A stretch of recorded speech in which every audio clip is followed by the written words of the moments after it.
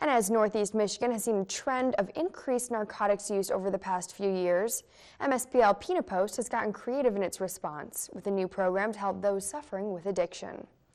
The Angel program opened on Monday, and its purpose is to give people a safe way to let go of the drugs or alcohol and get some help. And according to State Trooper Ashley Simpson, other states that implemented the program have seen a decline in crime. In other areas, they found that when they implemented the Angel program, that a lot of their property crimes went down, the petty thefts, the breaking into cars, retail frauds, because people were no longer seeking that addiction. MSP, along with Northern Michigan Regional Entity, will provide addicts a chance to surrender themselves to police and seek treatment with the help of angel volunteers who have overcome addiction themselves.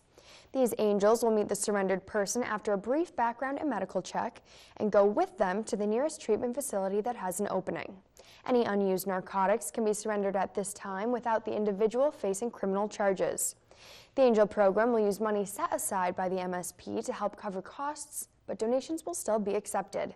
Cash and money orders can be dropped off at the post in Alpena or mailed to the MSP Angel Program Coordinator at their mailing address below.